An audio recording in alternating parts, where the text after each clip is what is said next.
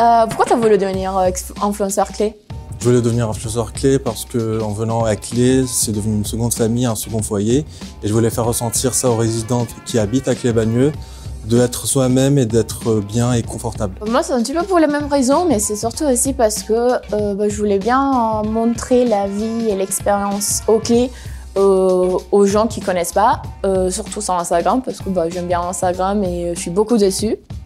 Quel est l'event le plus waouh auquel tu as participé chez Clé euh, bah, Je dirais la semaine du bien-être, parce que ça fait très du bien. c'est une semaine dans laquelle Clé propose des séances de massage ou de sophrologie ou d'autres activités qui font très plaisir et que d'ailleurs je pense qu'on va faire encore dans, à nouveau dans un mois. Et toi? C'est la Welcome Party. La Welcome Party, c'est un truc de ouf qui, qui a été organisé par Clé. Il y avait un photobooth, il y avait des snacks, des bières, il y avait des chips, des bonbons. Et en plus, la partie la plus excitante pour moi dans la Welcome Party, c'était le Kahoot. Un jeu extraordinaire. La plupart trouvent ça nul, mais moi, je trouve ça très intéressant.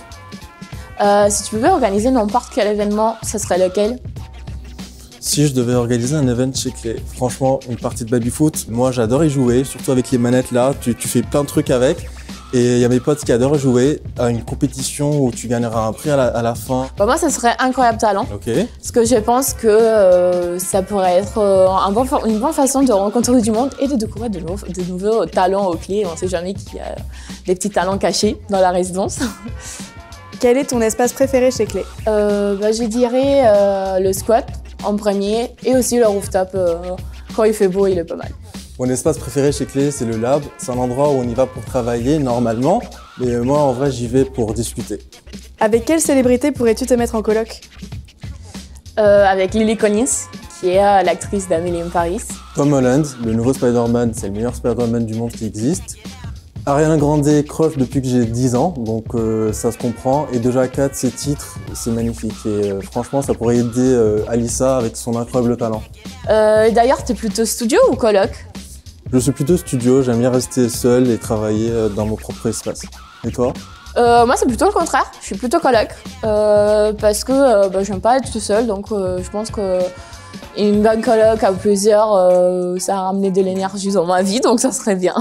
Raconte-moi une anecdote de ta vie chez Clé. Euh, bah alors, il y a une anecdote qui est très drôle. C'est que quand je suis arrivée, je connaissais personne et j'étais très timide. Du coup, euh, bah, je me suis mise sur l'application de Tinder sur laquelle on passe tous beaucoup de temps.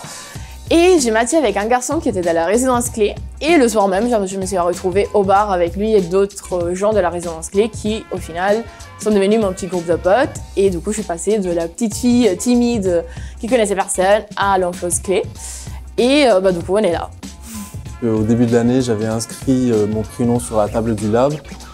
Une jeune fille l'a retrouvé, a commencé à me chercher dans toute la résidence. une fois trouvée, c'était un coup de cœur amical et tout de suite on s'est connecté. Et aujourd'hui, je, je l'appelle fièrement ma meilleure pote. Convivialité, divertissement et pratique. Famille, confort et sécurité.